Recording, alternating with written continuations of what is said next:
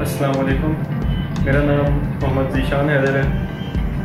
Patient Shehnaaz बीबी जो है, वो हमारे घर में मेड का काम करती हैं। पेशेंट ने, बीबी ने, शहनाज बीबी ने मेरी वालदा से ज़िक्र किया अपनी बीमारी का।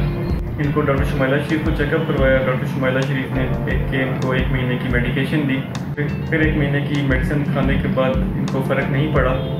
जब दोबारा चेकअप करवाया तो मैडम डॉक्टर शुमाइला शरीफ ने इनको ऑपरेशन का रिकमेंड किया। पेशेंट प्राइवेटली अफोर्ड ये पेशेंट ये ऑपरेशन अफोर्ड नहीं कर सकती थी। फिर मुझे हॉस्पिटल एडमिनिस्ट्रेशन से ट्रांसपोर्ट हैंड इदारे का पता चला। फिर हमने इनका शनाज पेशेंट का जो केस था, वो हमने ट्रांसपोर्ट हैंड इदारे को फॉरवर्ड किया। को शनाज पेशेंट का एडमिशन हुआ और इक्कीस तारीख को इनका ऑपरेट हो गया।